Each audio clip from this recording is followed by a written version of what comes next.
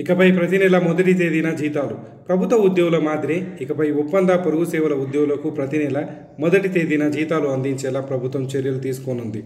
చాలా శాఖలో మూడు నుంచి ఆరు నెలల వరకు వేతనాలు అందడం లేదు.